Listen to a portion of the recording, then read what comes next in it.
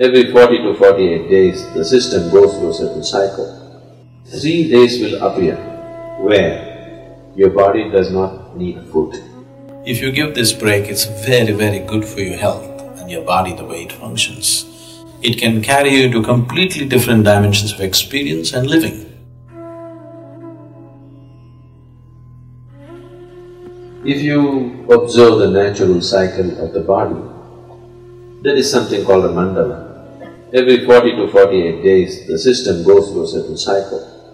In every cycle of this, every single cycle, in this three days will appear where your body does not need food.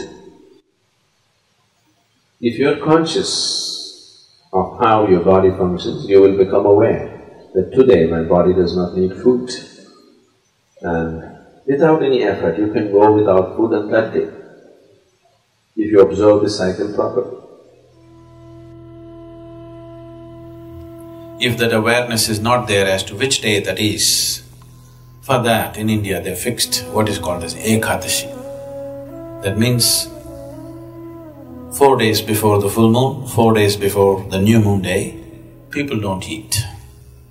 They wake up in the morning, no breakfast, no lunch, only after the sun sets they eat one meal. This is just to allow the system to realign itself.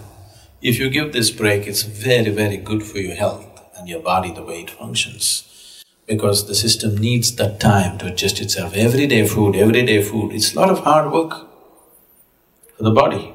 Give it a little break. If you're not able to fast, on one day you go on something lighter, maybe just juices or something else, which is much lighter for the system to handle, definitely body will be very grateful to you. Yes, every day loading it up with cooked food uh, is not a good thing to do. So, what is its spiritual significance? Because it's a cleansing. If your system is not vibrant, you won't feel like doing anything spiritual. You're feeling lethargic. For a meditator, the biggest enemy is sleep. To sit here with eyes closed and fully alert takes something else. For most people, if they close their eyes, it's sleep. So to sit here and to be very alert with the eyes closed takes a certain level of vibrance in the body. So to create this vibrance, we observe how to eat, what to do, how much to eat, all these things. It is not spiritual, but it is providing the right kind of body. Right now, if your body is feeling very lethargic, I am talking enlightenment, so what the hell? Isn't it? So keeping it vibrant, alert, and keeping the body free of pains and problems is important because only then you will seek something bigger. Right now your leg is hurting, really hurting. God appeared. What will you ask? My leg pains. yes or no? What more will you ask? That's all you will ask, isn't it? Because body has that kind of power over you.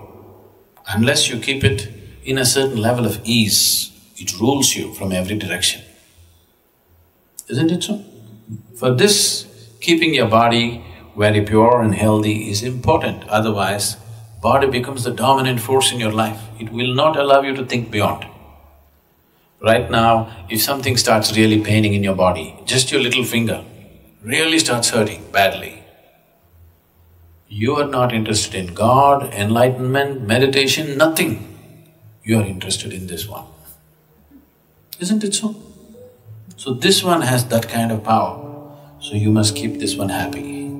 Only then it'll allow you to do something else, otherwise it'll not allow you. So in that context, fasting here and there, giving the body a break to recover itself, recover its vibrance, not become lethargic with food, is important. Instead of fasting, if you just keep sufficient break between one meal and the next meal, if I say this, you will give up yoga. The ideal break between one meal and the next meal is eight hours always. If eight hours is not possible for you, minimum five hours break is needed. You must feel a certain sense of hunger before you eat. Before you feel hungry, if you put food into the system, the system will become lethargic. It will not know vibrance. When I say vibrance, I'm not just talking about you being right now awake. We are not in the same level of vibrance right now. Each one of us, we are eating the same kind of food, we are breathing the same air, we are in the same space, but we are not in the same level of experience. This moment how I am within myself, I will not exchange this for anything in the world. If you give me the whole world, I will not make a deal because this is much bigger than that. And it's possible for everybody. It's not happened simply because the necessary attention and what needs to be done with the system has not been done. So, human vibrance can be in various levels, many different dimensions. It can carry you to completely different dimensions of experience and living. So, keeping the body well is a fundamental requirement. You don't have to be a great athlete or something, but just keeping it easy, that if you sit down here, you don't have to twist and turn all the time. If you sit down here, next few hours, you can simply sit here without being bothered by a bursting bladder or a craving stomach bag or this hurting, that hurting. If you sit here, you're fine. Just that much ease has to come into the body.